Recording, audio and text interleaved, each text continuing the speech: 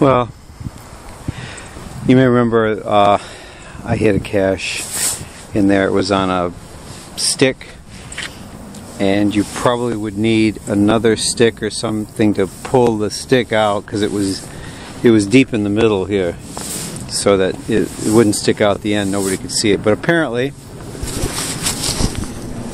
apparently, somebody did did find it because it's been muggled and uh, that's a shame. I, I got a somebody posted a DNF on one of my caches here. Might have been this one. Can't remember, but I'm going through. I got four caches in this park, so I'm going to check on all of them. So this one's been muggled. I will. Uh, I don't know. I'll have to deactivate it temporarily and maybe set up a new cache around here. So I'm going to go check on the other caches, see how they're doing. Uh, I have a I have a geocache hidden here directing people to this monument. Cache is over here. It's still there. It's dry. It's intact. It's in great condition. So let's go down here to the other one. Alright, I have a cache at this monument, directing people to this monument. Let's go see if it's still there. Well, this is the tower, this is the corner. It's a magnetic cache. Let's see if it's still there.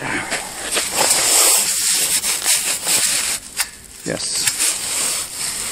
It is still here. Let me look at it, make sure it's okay.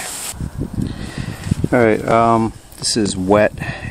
Wet inside. So what I'm going to do, I'm going to disable this cache temporarily, take this home, carefully carefully dry it out and uh,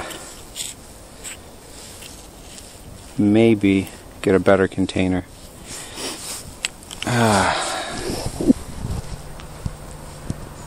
The last cache is hidden up there next to the statue of General Kim the top of this hill. And I just noticed bamboo stays green all winter. I never noticed that before, I don't think. Okay, the steps are over here. The steps begin and up they go. So I gotta go all the way up there to the top of the hill. Alright, well.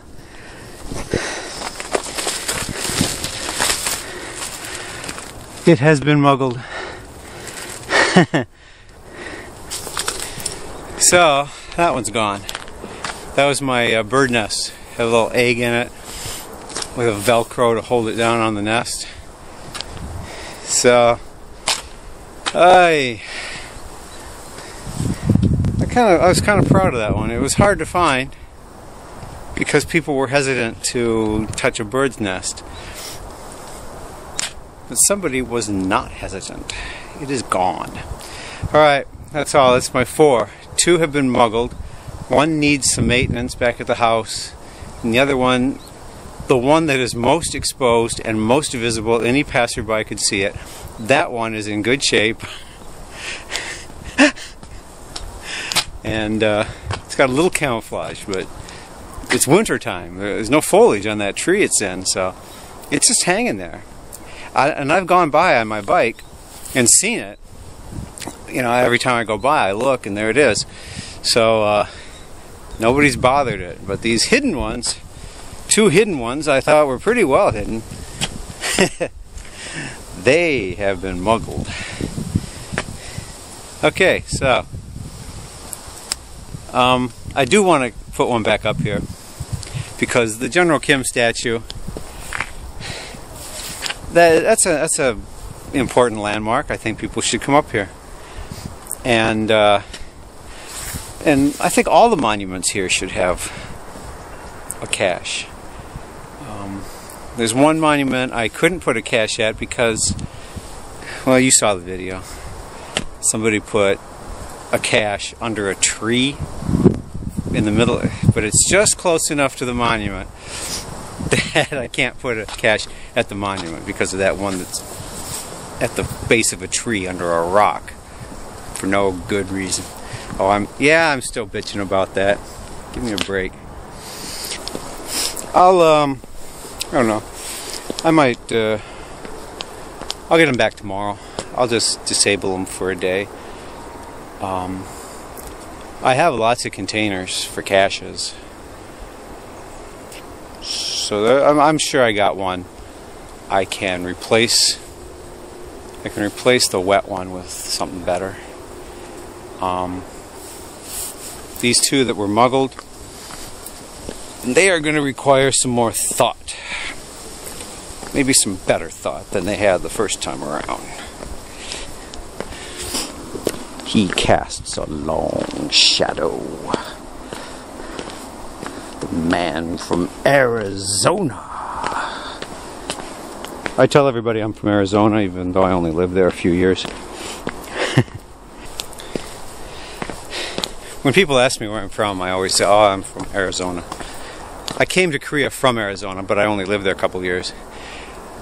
And uh, um, but now, I'm almost certain when I return to America, I'm going to return to northern New Mexico. Um, they're blue counties. I was thinking about Oregon, but the only blue counties in Oregon are along the coast. But northern Mexico is all blue and uh, Indian reservations. I, I, like Indians, and um, maybe teach, maybe teach in the school system there. Um, places where there are Indian reservations always have a need for teachers, or usually have a need for teachers. So, if I can save up enough money to buy some property in Rio Arriba County or one of those counties up there then I'll I'll head back. I'll head back and teach in America. It's about the same pay I'm getting here. America is a very expensive country to live in, but I can live simply. I certainly can. I see nothing wrong with living simply. You know, I make my own stuff. I make my own butter and my own applesauce, and I I like making my own stuff, and it's not just to save money, but a nice byproduct of making your own stuff is it saves money. Anyway, I'm going to get home.